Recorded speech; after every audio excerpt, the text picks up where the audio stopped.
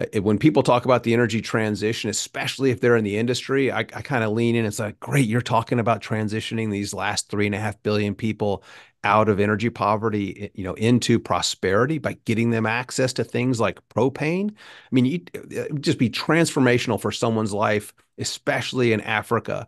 People in South America still will walk around one hour a day to collect animal dung and wood to heat up water that they've spent hours a day walking to collect to make that water somewhat potable. And if you could get them a just a propane burner to improve the air quality in what the dwelling that they're living in.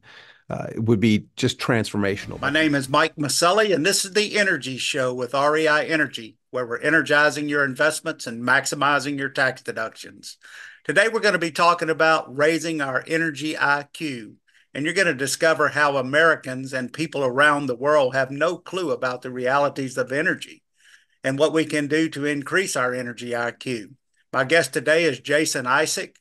Jason is the director of Life Powered, a national initiative of the Texas Public Policy Foundation to raise Americans' energy IQ. Great to have you on the show today, Jason. You know, I know you're the director of Life Powered, and can you tell our listeners a little bit about what what your group does? Yeah, Life Powered is a national initiative of the Texas Public Policy Foundation. Our short mission statement is to raise America's energy IQ. The longer one is to make the connection between access to affordable, reliable energy and human flourishing. Uh, and so the Texas Public Policy Foundation's a 501c3 nonprofit charitable organization, education organization that has really three missions or, or three principles in its mission, and it's free markets, free enterprise, individual liberty and personal responsibility. And that's what we're driven by. Uh, and so Life Powered is just one of the many initiatives that we work on. And we work to not only educate the general public, but primarily policymakers, do extensive research, uh, and then provide policymakers with ideas and solutions to, to really lower the cost of energy and promote human flourishing around the world. Wow, that sounds great. You know, I've been in the oil and gas business for going on, I guess, 30, 40 years. And, uh, you know, to me, I mean, it, you know, when I was growing up, I mean, you know, you just hit the light switch and the lights come on. And I think a lot of people around the country, you know, kind of don't know a lot about energy. And, and so the work that your group is doing is, sounds very, very well. And, you know, as far as that, so how do you go about, you know, basically uh, educating people on, on energy and, you know, and the ins and outs of it? Well, sure. There's there's a couple of ways that we do that. We use different forms of media. It could be videos. Uh, it could be presentations. I can't tell you how many times I speak around the country uh, every year, but it it is easily in the hundreds. Um, and and so and then we've got our policy you know, analysts and our team that go out and really educate the policy makers uh, we're working doing stuff in the classroom. So I think that's really important that we reach the general public, that we make reach elected officials, and and sometimes it's not even elected officials; it could be appointed officials, uh, bureaucrats, if you will, in the government, different levels of government, uh, and then the, the the general public. If I didn't mention that one already, but I think really important is is kids uh, I, this is issue we've been working on. I've been working on for almost a decade now. Is just changing the education that our kids learn on a daily basis in public schools, and then make curriculum available for private schools, make it available for home schools, uh, and that is something that here at the Texas Public Policy Foundation and Life Powered has really taken off over the last couple of years, uh, just providing more curriculum. It was uh, just amazing to me to see statistics and, and numbers that show that over 50% of the kids today suffer from eco anxiety. And it's a, a, lot of the kids, they don't understand the products that we use in a daily life, in our daily lives and, and where they come from, where they're made from. They just don't understand that, you know, they, they say things like we want, we have to ban fossil fuels now and you know the first kid I that tells me that, and I say, "Well, let me have your cell phone," and they're like, "No, I'm not giving that up." Well, of course you're not, because it's made from hydrocarbons and it makes your life easier and more enjoyable. Uh, but they just don't understand that, and so we've we've done a really good job and continue to do work on educating kids in the classroom with unbiased information about all forms of energy produced uh, in this country. Uh, there's there have been a couple of things that we've done you know, significantly within the Texas State Board of Education that will resonate around the country. We changed, we worked with some other school districts to change some standards. Uh, and this is where uh, you know, if I if I can digress for a second, when I, I, served in the legislature last decade for four terms, I served eight years. I worked in economic small business development, energy resources, and environmental regulation. Those were my three primary inter- focuses when I was in the legislature. And I went on a, a trip, the economic development trip, and went and visited with technology companies all up and down the the West Coast. We were in Seattle, we were in Oregon, we were in uh, you know the the, the there in, in near San Francisco with all the tech hubs and we're visiting with these companies and they're telling us legislators that they're really suffering because kids aren't learning the computer programming skills and the computer engineering and, and just computer science skills. And and they said we're donating all this curriculum and we donate all of this technology to the school districts but the utilization isn't very high and I asked them, I said, well, does your curriculum align with well, in Texas, what is the acronym is TEKS, T E K S, Texas Essential Knowledge and Skills. And I said, well, does your curriculum align with those? And that's the standards, the TEKS are the standards. Does your curriculum align with TEKS? And everybody in the, the tech sector, every visit we went on, like, what are TEKS? And I'm like, that's your problem. And so we've really focused on aligning our curriculum with the TEKS, and then we're able to work with some other school districts to get some of the TEKS changed, these standards. And I think two of the most beneficial standards that we got changed in public education was that kids will now have to learn about energy poverty. And really, energy poverty is poverty you know learn about things like what it means to not be in energy poverty how much your life expectancy increases basically positive outcomes from having access to affordable reliable energy. And then they're going to have to do cost benefit analysis for different types of energy sources. Uh, and this is something that the the left and the climate cult as i fondly call them just was absolutely up in arms about the fact that kids would have to consider cost benefit analysis when choosing different types of energy sources and reporting on different types of energy sources. And why they would be so alarmed, I, I don't know. Everybody says that wind and solar are cheaper, uh, but I think when you really get down to it, people are learning that that's not the case. Yeah, I saw one of your interviews. I think that you were that you were doing, and you know, you were talking about uh, just all of these, you know, politicians and, uh, you know, and, and of course you said you used to be in government. And so does the politicians actually believe that we can eliminate fossil fuels? No, I really I don't think there's a single one that does, but I think that they're pandering to some of their their donors and they're pandering to and there's a lot of people a lot of politicians that'll just tell you what they what they they'll tell you what they think you want to hear and it's it's really easy just to say that we're living in a catastrophic climate crisis and look at the storms because people have short-term memory issues. Um, but when you really get down into the the science and the facts and the math the, the actual facts are that the strength and severity of storms aren't increasing costs are certainly going up because people are building along coasts uh, where hurricanes tend to hit and they're building more expensive structures and those structures are getting damaged not getting damaged as severe as they did 100 years ago but there, there's just no way. And so, and I, and I think this is one of the areas we've done such a wonderful job over the last five decades. We've reduced pollution in this country nearly 80% over the last five decades. Hmm. the first time I told that to a energy staffer in the US Senate, he laughed in my face. Wow. And he thought I was joking. And at that point in time, it was a 73% reduction. This is right at about five years ago. And now we're at nearly 80%. We're at 78% reduction. But he, he's like, that's funny. Where'd, where'd you get your numbers from? Like, like this is polling. Like, no, there's actually air quality monitors. And I told him about my experience serving on the Environmental Regulation Committee and working with the Texas Commission on Environmental Quality and knowing where all of our air quality monitors are and and that we have more in this country than in any other country in the world. Um, and and talking about how we've actually improved things that in certain concentrations cause harm to human health. We've been world leaders at reducing pollution and we're number 1 when it comes to access to clean and safe drinking water. And and this is all because of economic prosperity and you don't have economic prosperity without affordable reliable energy and that energy comes from fossil fuels. Something and, and i love it when people say what are you going to do when you run out? And i'm like well we'll find another texan and they'll find some more. Because as it stands right now we've got at least a thousand year supply when you look at the hydrocarbons oil gas and coal um, and that's not including nuclear and we need a lot more nuclear as well yeah, no, I agree with you 100%. We need all forms of energy. I mean, we've got close to what 8 billion people in the world now and you know over 300 million people here in the United States and you know when when you have good, solid, reliable, clean energy like you know natural gas. I mean that that's better for people for developing nations too, right? I mean, as far as I mean, everybody wants you know access to to reliable energy. Yeah, uh, no, you're absolutely right. And it's interesting because the Germans pay South Africa, I think it's $800 million a year not to build new coal fired generation, which is just absolutely absurd. And then, you know, what does South Africa experience on a daily basis? This thing called load shedding. It happens between 3 and 7 p.m. They don't have enough reliable electricity, so people get their electricity disconnected. You hmm. you can't survive very well in an environment like that where you're constantly having to worry about refrigeration. Think about medicines that need constant refrigeration, or think about food that needs refrigeration if you lose electricity for a couple of days, you're going to have a lot of food spoilage, and that's just food waste, uh, and that's not good. That's not good for economic prosperity.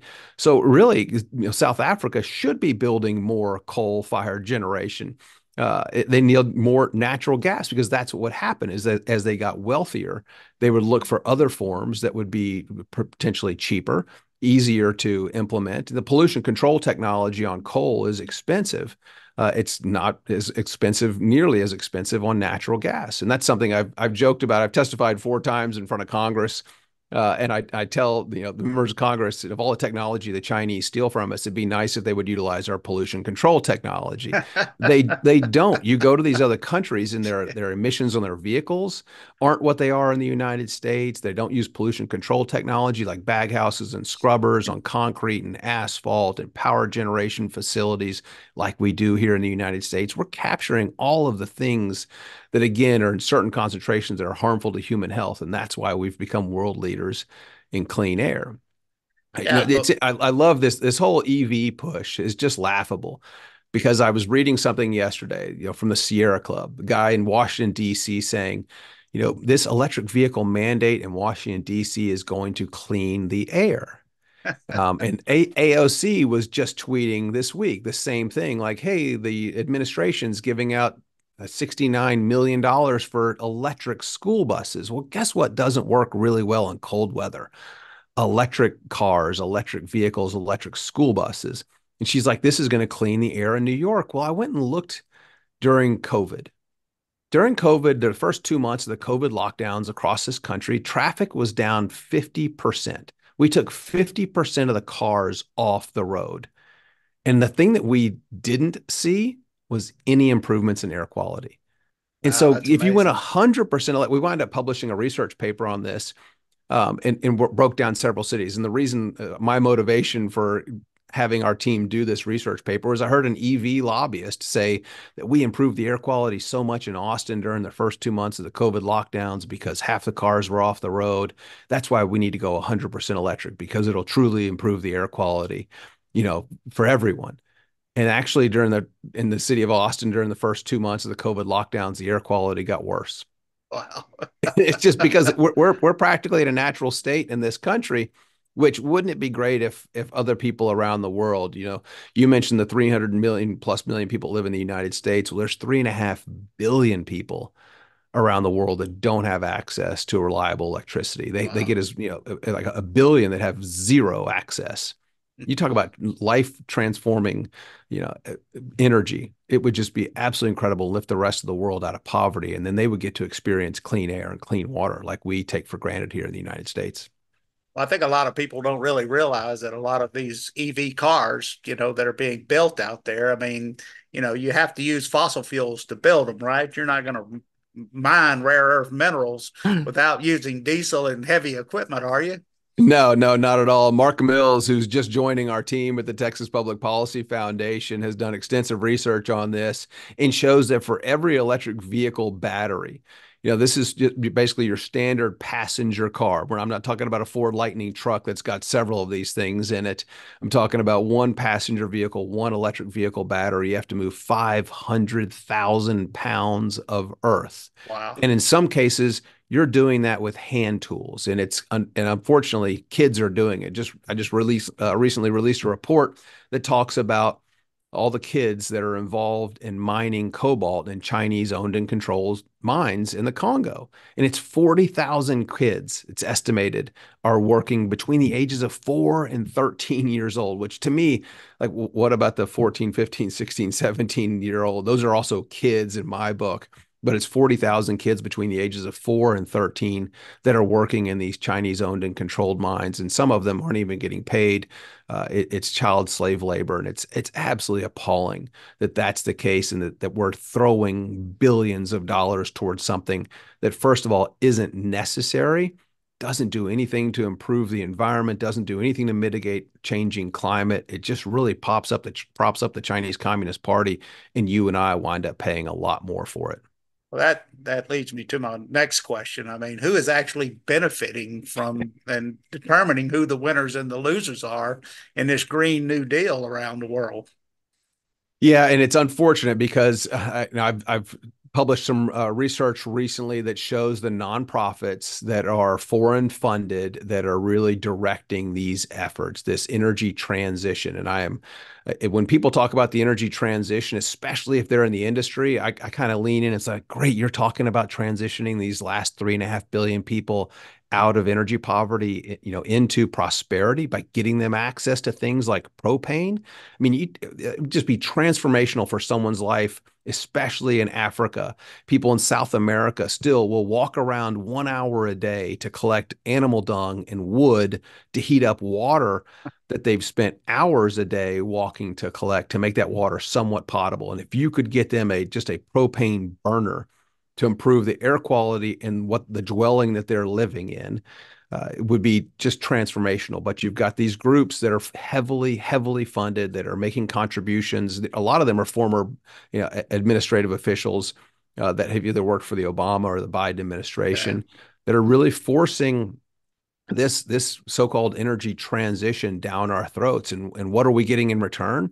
You know in texas electricity costs have gone up 25% over the last three years. That's above inflation and, and, the reliability has gone down. Our reserve margins this is something that we researched heavily and and studied and warned about winter storm uri before winter storm uri happened. We knew we were going to have some outages uh, so it's it's just winter is the new norm. Winter is the new summer in Texas now, if you will, and really, I think the Northeast is experiencing that right now. Um, but it, it's just really unfortunate because it is it, it's the the Chinese Communist Party benefits significantly from this so-called energy transition, which really we need an energy expansion. We need to be producing more energy. You know, we produce energy in this country more responsibly than anywhere else on the planet and we need to be exporting it around the world, getting people out from under you know, the control of Russia, China, Saudi Arabia, Venezuela, you know, these dictators and these these communist countries uh, that could care less about environmental protection, less about uh, human rights. Yeah, no, I agree with you, and I think that a lot of people are finally waking up to this EV push. I mean, because sales are down, a lot of these auto dealers can't get rid of these cars. I mean, what's the average car? Fifty thousand dollars. You know, it costs to to buy that car, and and uh, you know what is the cost to operate it after you buy it? Yeah, and that's that's what's uh, really exciting because I was just I think I just did an interview here recently, and and someone was sharing some polling numbers about Gen Z. You know, these younger kids that they're having questions about this EV push and this climate, you know, so-called climate agenda um, and, and I think they're finally starting to wake up and realizing that, wait a second, if we produce more energy here in this country, that's actually good for economic prosperity. We have clean air, we have clean water. These are wonderful things. Shouldn't yeah. we, shouldn't we have more of this? We, and I tell you, we, I think it was December, we just published some research on the true cost of electric vehicle. It's called overcharged expectations. If you want to search it up, you know, Ted Nugent even shared some stuff from our research, which I think was a first. But we took a look at the cost, and, and the numbers are going to increase significantly when we update them later this year. But we used numbers through 2021 that we had available and looked at 10 years cost of an EV. And you and I are heavily subsidizing the cost of every EV. And I'm not just talking about the $7,500 tax credit you and I are paying higher cost for electric infrastructure. You know, there's reports that billions of dollars went into subsidized EVs had already been spent. I think it was uh, to the tune of $7 billion had been spent to build EV chargers, and it wasn't until January that the first one in Cleveland, Ohio opened. So we've built one EV chargers with you and I handing out billions of tax dollars. Uh, but the, the cost that's that you and I help pay, whether it's through this infrastructure, whether it's through these things called CAFE credits, corporate average fuel economy credits. This is a, a, a an administrative state telling automa- automakers that across their fleet they have to maintain a certain mile per gallon and that number increases you know, every few years there's a significant increase mm-hmm. and so then they give them this crazy multiplier if they build an ev and so rather than an ev maybe saving you know one mile a gallon or for every mile per gallon every gallon it saves they get credit for saving nearly seven gallons it's just some crazy arbitrary number. I've joked that, you know, Enron accountants and Bernie Madoff and Sam Bankman Fried would blush at the accounting gimmicks that the federal government is using in these handouts. Yeah. But so, and this is where Tesla would not have been profitable in 2021, 2022, sorry, had it not been for the sale of these credits. They make $1.78 billion in 2022 from selling these credits. That was where they were profitable because they get a ton of them. And so they sell them to the other automobile manufacturers so that they can, you know, meet this corporate average fuel economy standard, which is just absolutely absurd because they're not meeting it. They're just buying credits and increasing the cost of the car. That adds nearly $20,000 in subsidies for every EV that is spread out to every single gasoline or diesel car or truck sold in the United States. And you and I are the ones that are bearing the burden of those costs because you know, we're going to go out and buy a gas vehicle or diesel vehicle um, it, it's just massive. So these electric vehicles cost fifty thousand dollars. Throw in another nearly fifty thousand dollars in subsidies from you UNI, um, and then you've got Ford that's losing sixty-two thousand dollars for every Lightning that's sold, and those don't cost fifty thousand dollars; those cost ninety-two. Yeah. So it's, I mean, the true cost is over two hundred thousand dollars for these things, and I think people are waking up to the realization. And with the exception of Tesla, it's uh, oh, the number is now over 50% for people that have bought an EV and then they go and it, it life's out three to four or five years. They're going to buy another car and replace the EV. Over 50% of those buyers are going back to gas or diesel vehicles. And that, that's uh, true for every automobile manufacturer except for Tesla. There's a big brand loyalty for people with Teslas. So, and also, I think that a lot of people don't really realize the weight of these cars. You know, I mean, how how does that uh, damage the roads? I mean, when you, you know, if you sell all these EVs that you say you're going to sell, I mean, you're going to increase the weight on a lot of our roads and bridges. I mean, you know, that seems to be the big big issue every time we have an election is that we're going to give money to roads and bridges. I mean, we're going to continue doing that, right? yeah, and I'm I'm going to try this year to work on convening some research to be done to show the incremental cost that that's going to have on our roads, our bridges, because it is thousands of pounds more weight. Yeah. You look at the garages that were designed today, parking garages and, and parking structures that were designed that are designed to be that are built today, they were not meant to carry massive several thousand pound vehicles. They were meant to carry internal combustion engines, you know, cars, gasoline and diesel cars. But these batteries add significant weight to the vehicles, which is frightening when you think about it. There are already cities in this country that will start to ban uh, charging stations in parking structures. And I think you're going to see them start to move against EVs being parked in parking garages unless they meet some new stringent requirement. Uh, wow. the, the, the charging station ban, you're going to see it in more and more cities popping up uh, because of fire hazard. And it's just something that they can't, you, you don't put them out.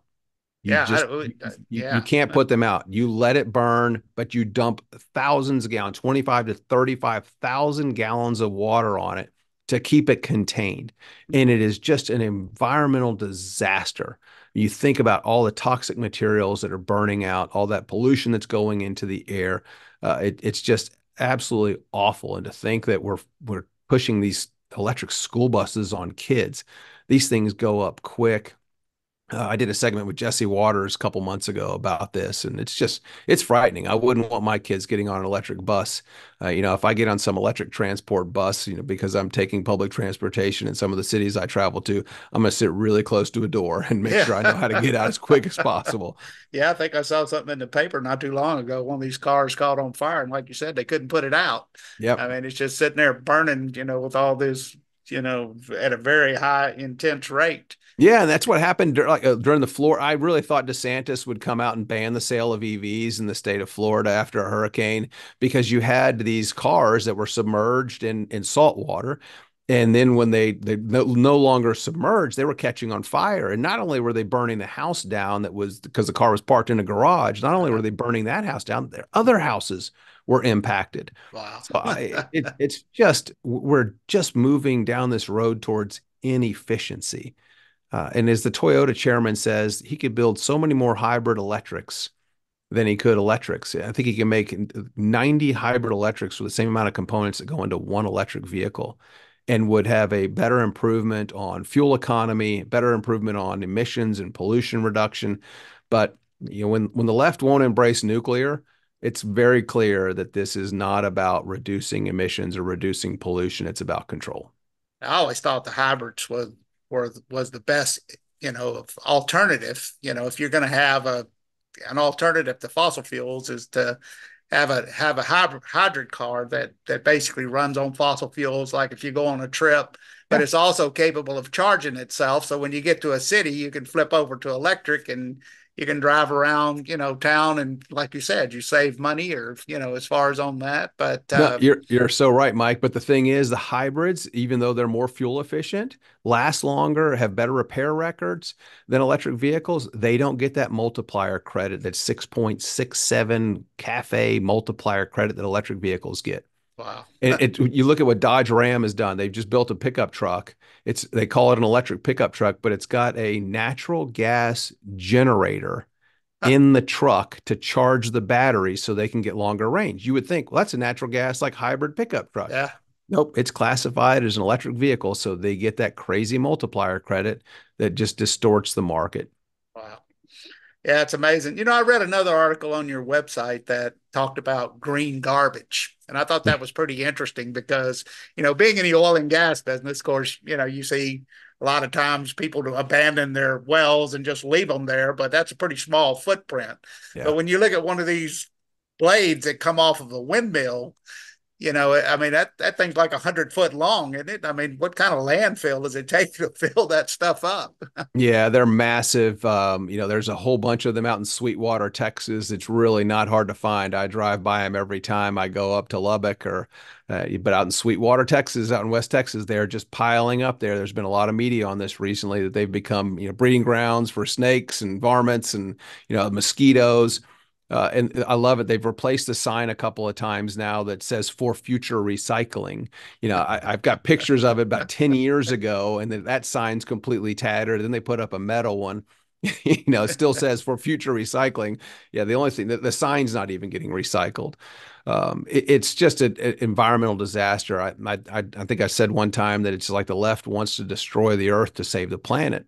And that's what we're seeing with these. I, saw a solar installation up in the north that got destroyed by hail, hundreds of acres of solar that they're taking, you know, good farmland off and putting in solar. And they wouldn't be doing it if it weren't for the subsidies. And this is the area we've reported on extensively. And people like to say, oh, fossil fuels get subsidies too. And I, and I say, yeah, let's end them all. And guess what's still going to exist the day after you end them all? Fossil fuels will. Hydrocarbons, natural gas, oil, coal, nuclear, those things will survive. What won't survive is this unreliable variable generation. It does not exist. And that's why they've these companies that have invested in wind and coastal wind have been going to the governor of New York and saying, we actually need higher rates. We need more money. They're getting billions of dollars in subsidies that you and I are paying, and all we're getting is less reliable electricity for a more expensive cost. And the environmental the environmental destruction is just terrible from the toxic materials in solar panels, from the toxic materials that are in wind blades, as you mentioned. And the only way to get more subsidies every 10 years if you make a significant investment so what do they do? They replace the blades. Even though they may not be near their end of life but it extends the production tax credit for another 10 years. Wow. they figured they, and it's a lot of foreign companies that are investing in doing this because they figured out how to game the system. So it's it's really frustrating to me that we're subsidizing socialism in France with EDF uh, Electric de France and we're subsidizing communism in China because most of the technology if not yeah, all I, it's not I, possible without China I agree with you. I, uh, I see a lot of these offshore wind companies are international companies. I mean, I thought the Green New Deal was supposed to, you know, be for American companies to develop this green energy, but it seems the majority of them are are international, and they're and they're just getting our tax dollars. No, you're right. You're absolutely right. It's it's it's uh, you hate to see it, but this is what government does. Yeah. You know. No, I agree with you. Well, Jason, it was great having you on the show today, and I'd love to have you back in the future, man. This has been an interesting topic. Yeah, we've got some exciting developments, you know, with with Life Powered and our education efforts. Um, you mentioned at the beginning that I was the director. Actually, last month I, I, am no longer the director. I'm a senior fellow with Life Powered. Oh, uh, okay. uh, because one thing that we've been incubating over the last year and a half, two years, is some frustration from energy producers in this country. And so, you know, I've I've stepped aside, I guess, as a full time employee of the foundation, although very heavily involved and actually a donor. Um, but we're building a, a, new American Energy Association to support and you know promote American energy. Again, it's more per, you know more, more responsibly produced than anywhere on the planet. But it'll be oil, gas, coal, nuclear. We've got to promote free markets with an American energy. And so we're building a new trade organization. I say we're, we're, incubated it here at the foundation, and now it'll be a separate entity with a separate board and separate, you know, supporters but it's just something that a lot of independents, whether they produce oil and gas or coal or nuclear companies, said, you know, we, we just don't feel like we have true representation in Washington, D.C. and around the states that haven't kind of capitulated on certain things. We need free markets first and foremost, and we need to produce American energy. So I'm excited. I'd love to come back on and talk to you about that maybe a few months down the road. That would be fantastic. And uh, do y'all have a website that our people can go to? Yeah, we do. AmericanEnergyInstitute.com is the website for the 501c3, which is the educational uh, uh, arm of the American Energy Association, which is getting built right now. But AmericanEnergyInstitute.com. Keep up the great work. Hey, thanks, Mike. So much. Appreciate you. And for those that want to learn about the Texas Public Policy Foundation, texaspolicy.com or lifepowered.org. You've been listening to The Energy Show with REI Energy. Energize your investments and maximize your tax deductions. To learn more, go to reienergy.com.